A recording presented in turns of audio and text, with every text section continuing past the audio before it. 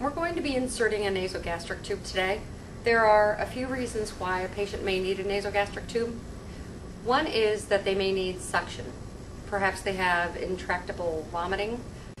Another reason that they may need it is to hook them to suction because they need bowel rest. Perhaps they've had a bowel resection or they've got an ileus or an obstruction.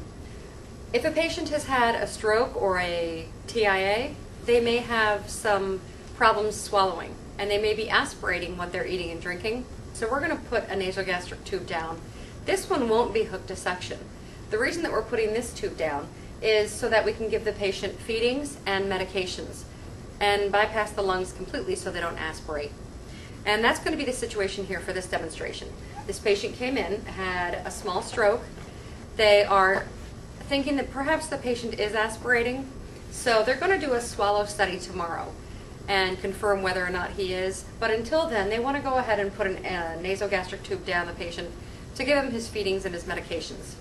Okay, the supplies that you're going to need your emesis basin, a pair of clean gloves, a drape to put down across your patient's chest so that we can protect his gown in case he does get nauseous and gag or vomit, a measuring tape to measure after the tube has been inserted, tape, lubricating jelly, an alcohol wipe, our nasogastric tube, a safety pin, a cap to go on the end of our tube, a cup of water or a cup of ice, and a straw.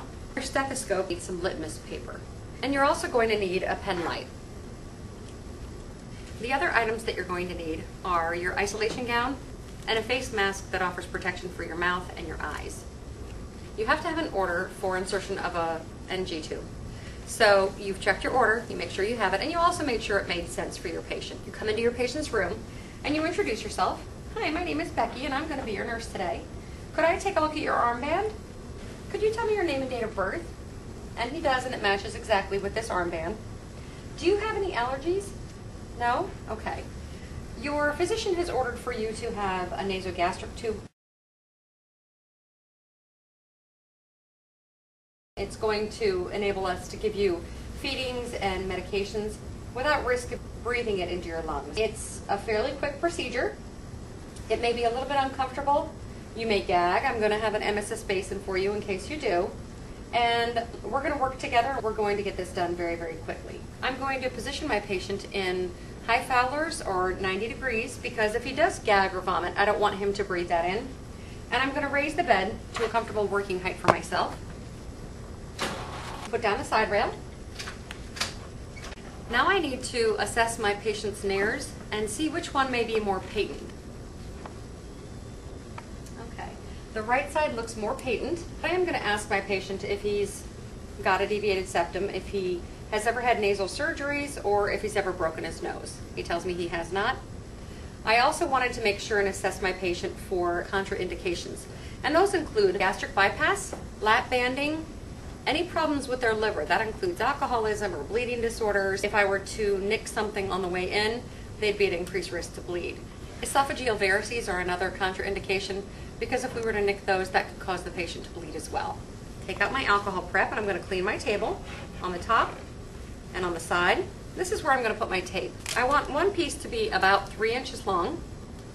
I'm going to tear it right down the center, leaving a little bit untorn. We call this uh, pants because it kind of looks like a pair of pants. That's the piece that's going to attach it to his nose. And if my patient's skin is very oily, I can use a alcohol prep and clean that area. I need a piece that's about an inch and a half long and one more that's about that long. Open up my nasogastric tube packaging. Take my lubricating jelly, open that up, put it on my wrapper, take my tube and open up my cap and put the cap in the end. This is a vent. You don't want to put the cap in the vent. You want to put it here at the end of the clear tube. That's the NG tube itself. Measure using the tube, not my tape measure, to measure from the tip of the nose to the tip of the earlobe. I'm going to lower your gown, okay? Of course, you've provided privacy for this. To the tip of the xiphoid process. I'm going to hold on to that and I'm going to mark it with a piece of tape. That should be the level of the stomach. When I get to this tape, I'll stop inserting. I've donned my personal protective equipment. I'm not going to put on the face mask because it's too difficult for you to hear me on the video. You're going to put your gloves on over your gown. If your patient's not allowed to have something to drink, you could use ice chips if that's allowed. And if that's not allowed, then you could just ask them to swallow. I've handed the patient the cup, and what's going to happen is that I'm going to begin inserting the tube. And at a certain point, I'm going to ask you to put your chin to your chest and swallow, swallow, swallow. Your swallowing will help facilitate that tube right down into your stomach. I'm going to put my emesis basin here in case my patient needs it, and I'm going to drape his chest just in case. Lubricate my tube approximately two inches and hold my patient's forehead so that he maintains a straight line. I'm going to insert the tube, and as soon as I feel resistance, I'm not going to tell my patient that, but I am going to tell him this is the point where I need you to go ahead and put your chin to your chest and swallow, swallow, swallow. I continue to push this in. He's swallowing. If he at any time starts to cough or needs to take a breath, pause because I don't want to continue to advance the tube. It would go into his lungs potentially. Give him a chance to recover. Okay, you ready? And swallow, swallow, swallow. And I'm going to go all the way until I meet my tape. And I've met my tape. Now, I don't want to let this go. I'm going to hold it down here to get the piece of tape that will secure it to his nose. The top part, I'm going to put on the bridge of the nose. I'm going to take one piece and stick it over here on his cheek so it's out of my way. And keeping the tube straight coming out of the nose, I don't want to have it high up. It can cause a lot of irritation to that nair. Wrap my tape just around the bottom of the tube. I'm not going to bring it back up to his nose. Now I'm going to get my second piece and just wrap that around the tube itself. And then I want to make sure that the tape is not occluding his nostril.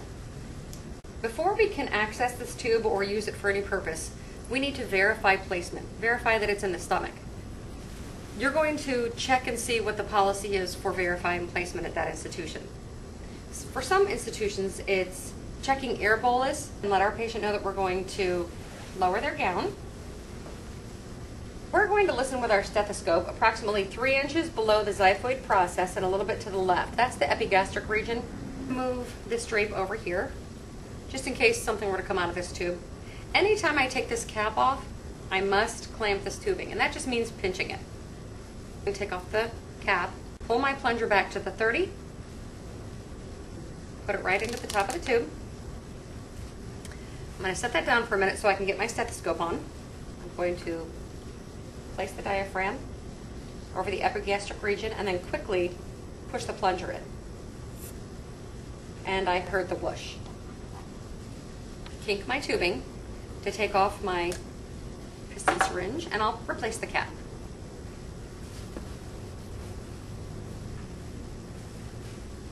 I'm going to put my final piece of tape here near the end of the tube, take my safety pin and put it through the tape, secure it to his gown above the stomach. Other institutions may use x-ray confirmation as their method of confirming placement of an NG tube.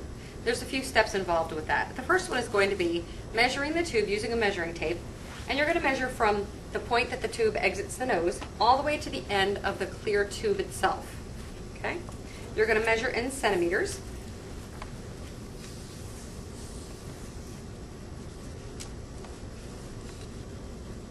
all the way to the end of the clear tube, and that's 95 centimeters. Secure the tube itself to the patient's gown. Send the patient down for x-ray. When the patient returns from x-ray, remeasure the tube just, just to make sure that it didn't move while he was being transported.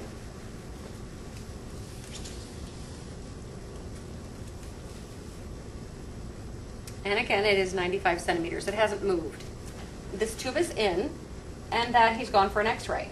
I don't know that it's correctly placed in the stomach. I need to go and read the x-ray report and I'm going to read that. And yes, I saw on the report that the distal end of the tube was located in the stomach. Now it's okay for me to go ahead and use this tube. Other institutions verify placement of NG tube by gastric pH. You're going to have your litmus paper make sure that you're putting it on another piece of paper because we're going to be putting a few drops of stomach contents on that and you don't want that to get on their table.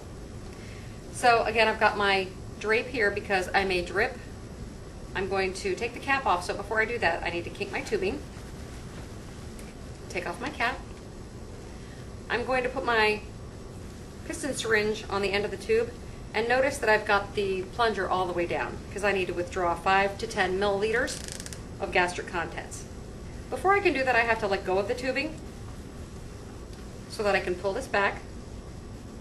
And I'm going to pull back between 5 to 10 milliliters. Before I take it off, I have to kink my tubing again. Now I'm going to come over to my litmus paper and just put a few drops. I'm going to see what number this gives me. It must be less than 5.5 for me to have confirmation that this tube is in the stomach. If it's greater than 5.5, it could be below the stomach or it could be in the lungs. Now, granted, this patient would probably be coughing a great deal if it were in the lungs, but if you have a patient who's not alert, they may not have a good cough reflex and you could be in the lungs. So it's important to verify that the pH is less than 5.5. Now I still have a little bit of stomach contents in this syringe. I want to go ahead and return that to my patient because it contains important electrolytes. Put it back on, unkink my tubing, and gently and still kink the tube and take off the syringe. Now visualize stomach contents in this tubing. I don't want the tubing to clog, so I'm going to go ahead and flush that with 30 milliliters of room temperature water. It's important not to use cold water or hot water. When you and I take drinks, we might drink something like a Slurpee that's very, very cold. But it's going to warm from the point it hits our mouth, goes down our esophagus, and then gets to our stomach. We're instilling this and it's going directly to his stomach. So we want to make sure that it's not too cold. We could give him sharp stomach pain, cause his stomach to spasm a little bit. So make sure that it's room temperature water. Some institutions insist that you use sterile water for instillation into these tubes. So make sure that you verified if it's okay to use tap water or if you need to use something different. Take the plunger out of my syringe put it in top of the tube, clamp the tube, so that I can measure the amount of water that I'm putting in. Otherwise it runs in too quickly and you can't measure it. There are 30 milliliters of water. I'm transferring hands, but look, I'm still holding the syringe and the tubing. If you need to, you can raise this and it's going to flow in by gravity. The higher you lift it, the quicker it should go in. When that gets to the bottom, all the way down the tube. I'll go ahead and kink my tubing, take off my syringe, and replace the cap. I'll secure it to my patient's gown. And now you've seen the three ways to check placement. Make sure that you're following your agency's policy and checking placement in the correct manner. Clean up my supplies, remove my gloves,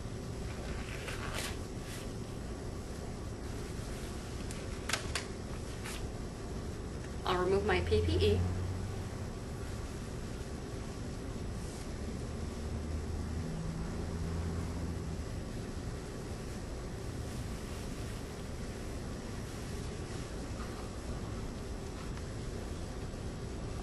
Place that in the hamper.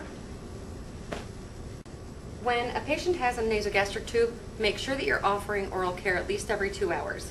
Either they're connected to suction and they're having a problem with their stomach or their lower intestine and they're not taking anything by mouth. Or we're worried that they're aspirating, so we're not letting them have anything by mouth. Either way, their mouth, their mucous membranes are going to become dry, so make sure you're offering that mouth care on a regular basis. Lower the patient and put up the side rail.